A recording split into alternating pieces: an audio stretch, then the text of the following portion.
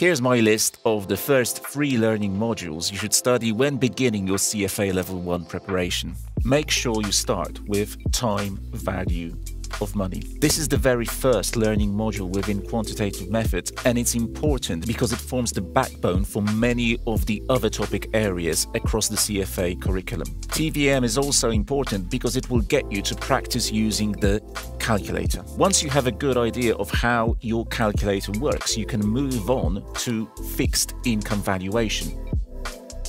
This learning module relies heavily on the time value of money worksheet, and therefore the problems you'll be solving here get you to practice your already acquired calculator skills. Now, my third topic suggestion is yet another valuation topic, this time equity valuation.